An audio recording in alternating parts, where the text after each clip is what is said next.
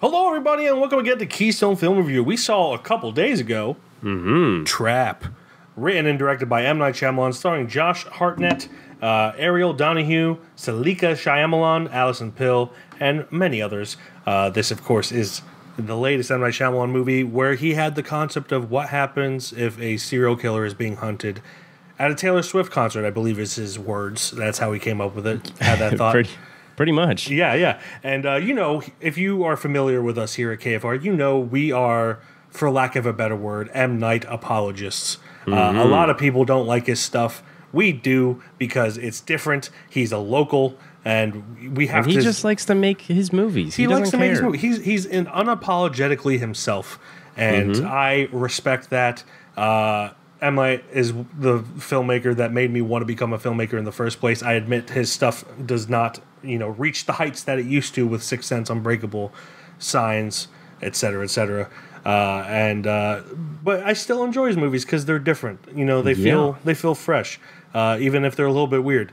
Uh, but yes, uh, speaking of weird, uh, I think the weirdest part about this one, and then Glen, I'll let you talk for a bit. Yeah, hit me up. Uh, the weirdest part of this one is his daughter, in my opinion. Not so much that, like, you know, I don't think her music's bad or whatever. It's not my style, but I don't think the music's bad. It just feels very shoehorned in because it's his daughter. And then that becomes more apparent without getting into spoilers. She becomes more involved in, like, the second half of the film. And then once that hits, it's just kind of like, okay, this is feels forced. Uh, but overall, I thought it was, you know, good. I really like Josh Hartnett in it. Um, I thought he was he was great. But uh, yeah, Glen, what did you think? Uh, like like we said, we love some M Night. Uh, guy guy just makes films. He's he's a beautiful man. He's a beautiful creature. Um, I I think I think I kind of agree with what you said. I think he made this movie kind of more for his daughter than anything. Not you Yeah. know the fact that it was, uh, you know, hey daughter, here's this super creepy thing. But I think he wanted to like be involved with her because he made uh, well sh- uh, his other daughter made a movie and we watched that earlier. The Watchers. Yeah, Watchers, yeah. Um, so I feel like he's kind of kind of opening the family tree a little bit more and getting them more involved with stuff. So it's it's cool that uh, he's doing that Yeah. um, and hundred percent behind that. Um, did it feel a little bit forced? I think towards the end. I think absolutely because she kind of just became a major character. She was always in the first half, but she was never like a character. She was Yeah. a backdrop. the closer it got on. to her being someone other than a backdrop, it was that's when it started getting weird for me. Mm-hmm. Um, and and not necessarily weird in a bad way. Just kind of felt you know forced and campy a bit. It, it would have been one thing if he had her involved in like, uh, hey, did we catch that guy yet? Like they did in the second half. Like as soon as the second half started, she Mm-hmm. did that. But if like he, if she went to the sides and talked to you know the head FBI chick or something like that, and saw that, um, that that she was involved in some way instead of just you know possibly being kind of in the in the unknown about the concert. Uh, I mean, obviously, she would have to know. I think you're legally up, like you have to legally tell people that, you know, we're kind of cracking down on a, a raid here. Yeah. Obviously, not all the the, the show goers, but to the uh, people in the in the. Th- I think if they if he introduced her in some sort of way that was better than the second half of the movie, it wouldn't have felt as, you know, pressed and like just here here she is here she is the rest of the movie. It would have been fine. Um, she was still fine. She was great. Um, I think I, I I love Josh Hartnett, and I don't know. If, I think it's mostly M Night's writing too. That every, everything just felt so campy. Like everything was like like the sitcom TV character families and their their personalities and how they acted. Yeah. And maybe that was like what he was trying to go for. Well, he's always, he uh, always has like a weird sense of humor yeah. within his thrillers, which makes it like very jarring sometimes. Mm-hmm. and normally in some of the movies at least he his characters at least feel normal they might have some crazy like dialogue to where it doesn't feel feel sort of normal but at least like they usually act like they're normal josh in this felt like straight out of and this is in a good way too, straight out of just like a horror sitcom, like movie dad type Yeah. thing, where he's like, "Hey, honey, how are you doing?" And like his face is just like, you can't see it right now, but like I'm doing it to the camera. He's just Yeah. like, "Hey, honey," and he's just like the fucking got strain in his face, but he's like, "Hey, this is normal. I'm normal right now." Yeah. Um, I, I felt like he was a little too much of a character in this, I guess I could say. Um, but other than that, I, th- I thought it was a good movie. Um, I don't really, it didn't like uh, jump at me and like surprise me in any sort of way. Um, there was, I mean, most people are gonna be like, "Where's the fucking M Night twist?" Not every one of his movies can have that. Yeah. Otherwise, I mean, dear God, he would be the Messiah. Um, but like, I, it, there's not something that's gonna like jump out and surprise you in any sort of way. It's it's just a good movie. Um, they had a good time. I I had some fun. Josh Josh was funny. Um, a lot of the other characters were pretty good too. Um, but it, it wasn't anything that was just like it's gonna be like your favorite movie of Yeah. the decade or something like that. It was just a good movie. Just a good movie. it was a, it was a, a you know good popcorn movie. Um, Mm-hmm. Definitely on the lower end of my ranking of M Night Shyamalan movies. Uh, I get what you're saying about Josh Hartnett kind of being like a little campy.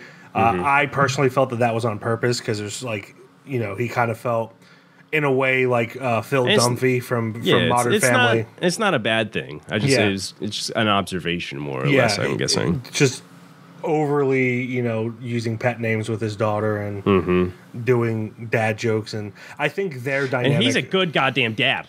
I think their dynamic was weirder than his performance was. yeah. Where, like, I mean, granted, I I don't have a daughter. I have two sons. Both of them are too young to h- hate me yet. Uh, but I feel like at her age, she would not be as you know, like, forgiving of his weirdness. Where She's like, Dad, you're being weird. Like, what's? I feel like she's like, you're being weird. You know. Yeah. I, I feel like there'd be a, a, a little more attitude behind it. Again, I don't have daughters. I grew up with two sisters. That's all I know about teenage girls, and they hate everyone and everything. Yes. Uh, and um, so I feel like it was more their dynamic than it was his performance. But I, I do see what you're saying there. Uh, I think for me, and this goes back for the past few M Night Shyamalan movies. M Night Shyamalan used to be visually stunning. His films used to have fantastic cinematography uh, to the point where they were like inspiring. Like there, there were there are shots in like the, the opening of Unbreakable. The entire first scene is shot completely through a, a mirror, and it's incredible.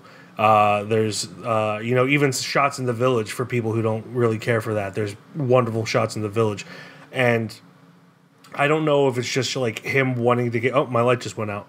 Uh oh. I'm a little dark right now. Uh, but uh, I don't know if it's just him wanting to get stuff done, or you know, kind of like losing the the passion for making something visually interesting, or if it's just the DPs he's working with that you know they're either newer or just not wanting to make things too complicated. Uh, but I feel like visually his movies have gone downhill uh, the past you know ten or so years. I guess I guess to excuse this movie, like he did film half of it in a stadium. Yeah, that's So- another thing. It's it's it's low budget for what I'm assuming that they did. Yeah. Uh, I don't know what the budget is, but like So- I mean, it looks it looks like a concert. yeah. and so I guarantee theoretically they they were on a schedule and they yeah Yeah. they probably had to crank shots out like Yeah, yeah we got to move on we can't stop got to keep going Yeah. assuming I, I, yeah, so that that might be you know they had to do just basic shots. It, Mm-hmm. It's I don't remember it too much in the cabin, the cab, knock at the cabin, but like this, it really stuck out to me. It was like it wasn't as exciting as M Night Shyamalan movies usually are, visually speaking. Mm-hmm. Um, and uh, you know, to the point where I might one day do a, a video on the decline of his cinematography throughout Oh. his, his films. We'll see. I don't know. I thought about it this morning. I might decide not to. Who knows? Because that's a lot of work. I got two kids. you got to do you got to do a decline and then you got to do an incline and then maybe like a maybe like a even bar Yeah, an even bar. Uh, but yeah, we'll we'll see. Um, but yeah, I mean, other than that, it was fine. Uh, I feel like it got a little too ridiculous at the end, where it just like like Return of the King kept ending and then Yeah. coming back and then ending and then coming back. Uh, but it made it entertaining ultimately. Um, and Um. uh, Jamie is the MVP of the entire film. Just throwing that out there. Woo, Jamie, woo. um, one huge thing is I am very on board with a little Josh Hartnett renaissance. A Yes. Har, Har renaissance. Yes. Uh, you know, teen girls were huge on him in the early 2000s. uh, now, uh, men in their 30s are huge on him now. I'm, I'm excited to see him and stuff. And the women are still huge on him. The Uh, women are that, still that huge on never left. Yeah, that's true. Uh, but it's, it's not as, you know, it doesn't have quite the fervor that it did when they were teenage girls. Yeah, he he left because fame was getting to begin like too much. So Yeah. he was just like, Someone- all right, I'm gonna gonna chill out. Someone brought a gun to one of his premieres and he was like, I'm going to live in England for a bit. yep.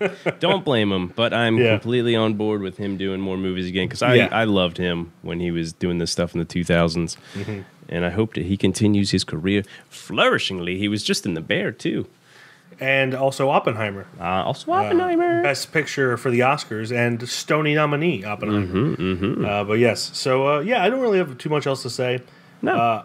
I'd be lying if I said I wasn't disappointed, but that's more just me like just liking M Night Shyamalan.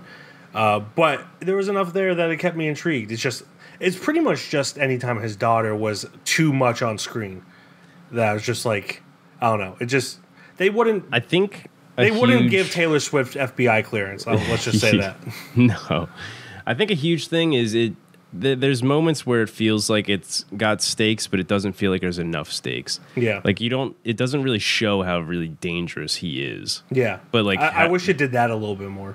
Like they they did at one point in the stadium. Mm-hmm. Um, but I that's as far as like he they kind of went, and obviously he's dangerous. That's why he's got the FBI on him. But Last thing I will say that I really appreciate, you know, I, I like reading about serial killers. I find it fascinating.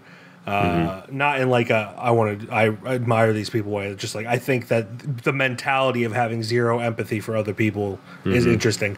Uh, and Josh Hartnett, and th- this is what I was talking about. Like he played it really well. Did the whole like kind of copying people's mannerisms, which is something that you know serial killers do because they don't have any empathy. So what they do to try to fit in is copy people, and he would do that where he would just like kind of look at who he's talking to, and they they would smile and he would smile and just stuff like that. It made it like creepy, knowing that he was a serial killer. But if you didn't know he was a serial killer, it just seemed like he was a normal dude. Uh, and that was one thing I appreciated. That You know, it was a good good demonstration. As far as I know, of course, I'm not a profiler like the British lady in this, because apparently the FBI can't find any American profilers. Even she's though just, Americans, she's just on a different even level. though man. Americans invented profiling. Actually, I don't know if that's true. I've, if Mindhunter is true, then that's it's true. But uh, but yeah, overall decent movie. Uh, But I can I understand the hate it's getting. It, you know, it's, it's getting a bit Yeah, bit I- of hate I- right now. I didn't hate it. I liked it. Was it disappointing to compare to like his last couple movies? Uh, yeah, a little bit. Mm-hmm. But I'm I'm always glad to see an M Night movie. So Same here. Same here. I'm I'm okay with it. yeah. Uh, ratings. Yeah. Yeah. Um, I can go first. Okay. I'm pretty sure I gave it a three a couple days after. I had to Mm-hmm. think about it for a second, uh, but I think I gave it a three out of five. Nice. Yeah, that's that's exactly what I gave it. Three out of five. Ooh. Um, two and a half felt too low. yeah. Uh, I I was nowhere near giving it a three and a half, but two Three and and a a half half felt too low. was very generous. Uh, so so yeah, I, I gave it a three as well. Look at that. Yes. So that is what we thought of Trap, M. Night Shyamalan's latest movie with his daughter Saleka Shyamalan. Uh, if you saw Trap, let us know what you thought down in the comments. Uh, what concert would you go to if you were a serial killer and uh, you were going to get caught? Uh, for me, I would probably say, mm, I don't know. I, I don't have a funny thing to say there. I, I thought I would, but I don't. Well, it's it's kind of Earth, Wind, and Fire. There we go. I'm going to a concert next week, so I hope I don't get Yeah. caught there. We're possibly going to a concert in a month. Yeah, So yeah. yeah. Yeah. They'll be busy boys. Yes, busy boys. I'll get the handcuffs. Don't worry, guys. It's gonna be really easy to find us in Levi the Poet's costume. oh yeah. Goodbye. Spoiler everybody. alert. bye bye.